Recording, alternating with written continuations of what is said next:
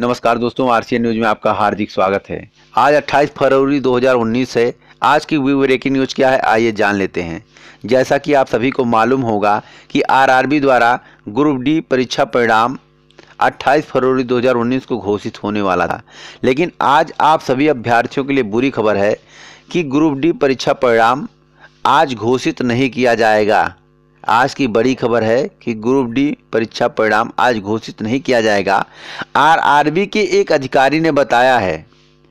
RRB के अधिकारी ने एक नई डेट दे दी है। वह डेट कौन सी है, आप भी जान लीजिए।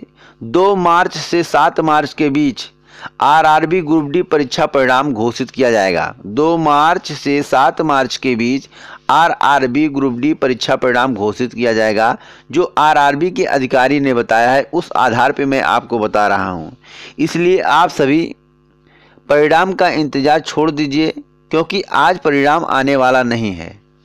आपको थोड़ा और इंतज़ार करना पड़ेगा। ऐसा महसूस हो रहा है कि लोकसभा चुनाव आने वाला है। रिज़ल्ट को आचार संहिता से दो तीन दिन पहले ही देंगे। ऐसा नहीं महसूस हो रहा है कि आचार संहिता लगने के एक हफ़्ता या पंद्रह दिन पहले देंगे।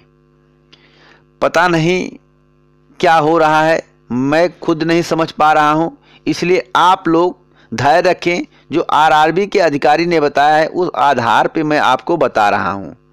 अगर आपको इसी तरह की जानकारी चाहिए, आप चाहते हैं आपको पल पल की जानकारी मिलती रहे तो आरसी न्यूज़ चैनल से जुड़े आरसी न्यूज़ चैनल को सब्सक्राइब करें।